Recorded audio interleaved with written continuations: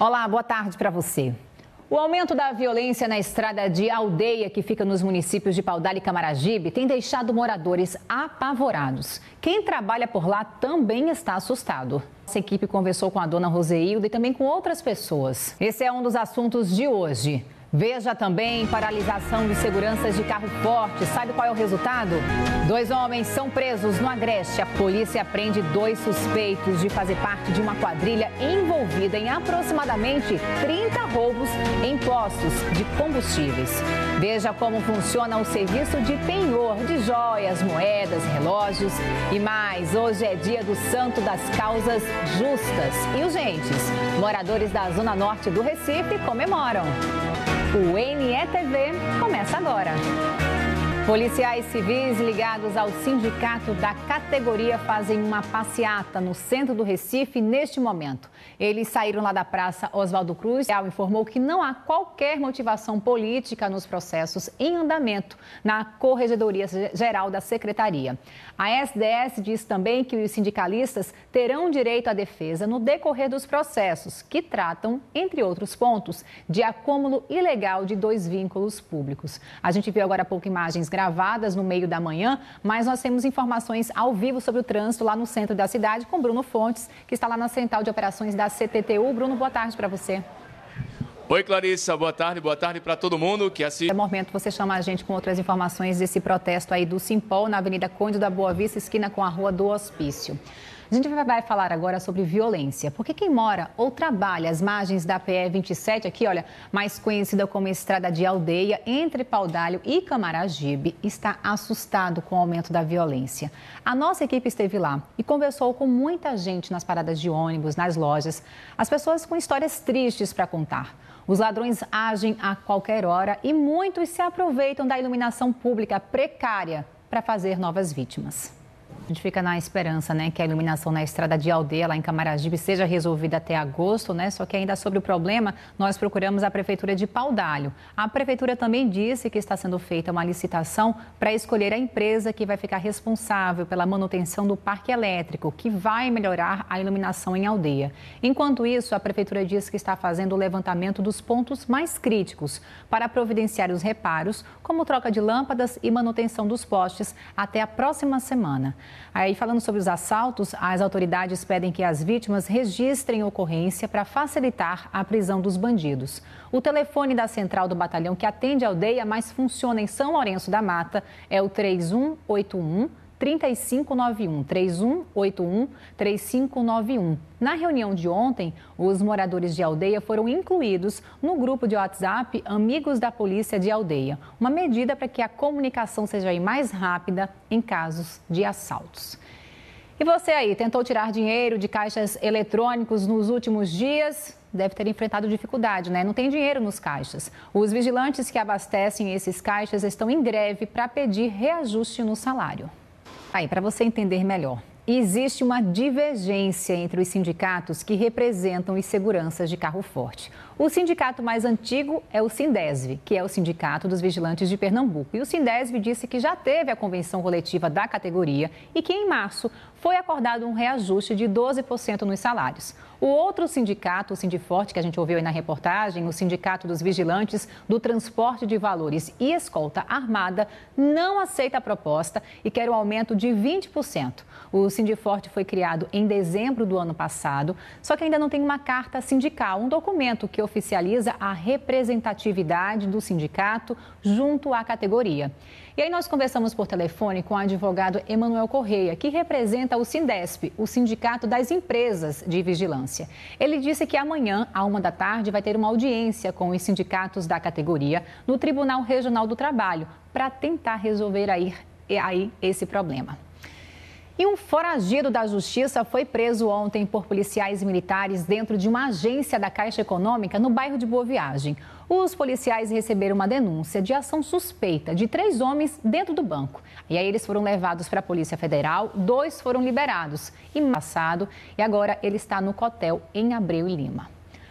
Vamos falar agora sobre penhor, um serviço que muita gente procura para fazer joias, moedas, relógios virarem dinheiro sem precisar que esses objetos sejam vendidos. Mônica Silveira está numa agência da Caixa Econômica Federal que fica em Olinda e vai trazer as informações para a gente. Mônica, boa tarde para você. Oi, boa tarde. Essa agência que a gente está aqui é a Marcos Freire. A gente vai trazer uma reportagem logo depois do intervalo que você fez lá na Zona Norte do Recife com as homenagens dos católicos a Santo Expedito, santo das causas justas e urgentes.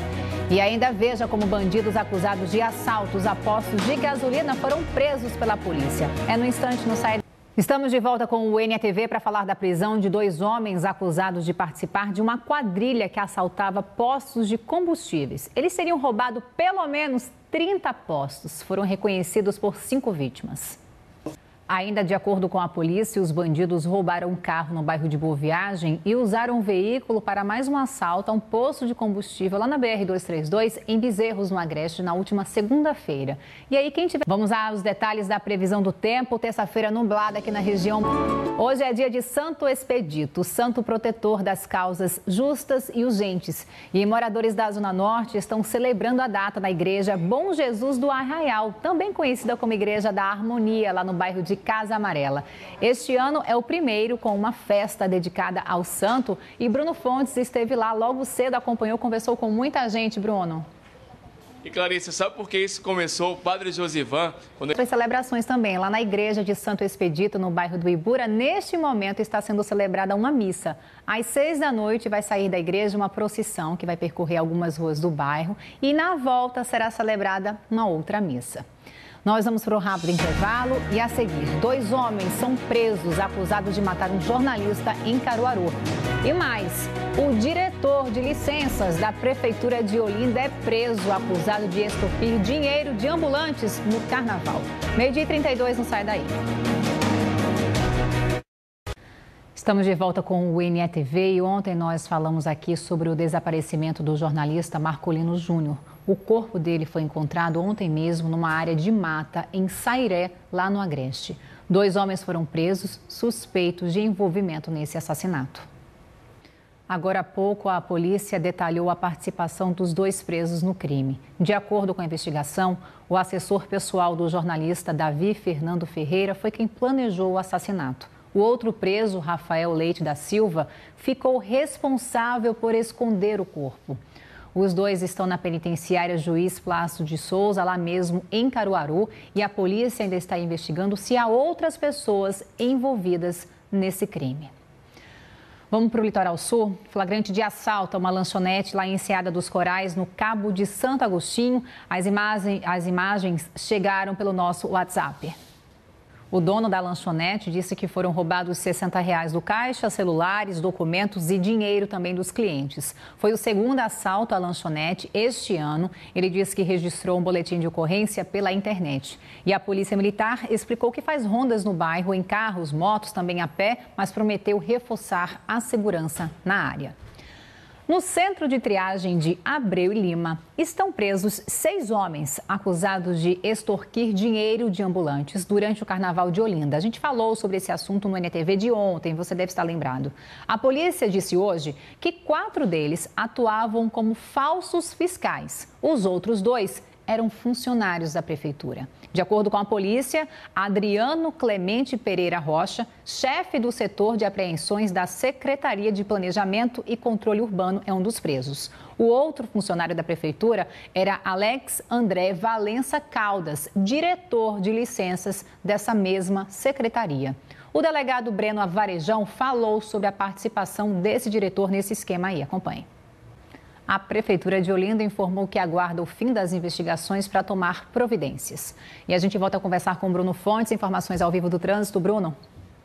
É logo no início do jornal, por volta no meio-dia. Os cuidados para preservar a nossa vida, né? Ó, vamos falar dos destaques do Globo Esporte de hoje. Tem uma história de superação muito legal e também a demissão do técnico do esporte, George Guilherme Falcão, que não resistiu à eliminação do esporte aí na Copa do Nordeste. Verdade. Boa tarde. Boa tarde, Clarissa. Boa tarde. Se, se, segurar no cargo aí de técnico do esporte. Tem também as notícias do Náutico e do Santa Cruz, porque amanhã tem campeonato pernambucano. Cana de superação.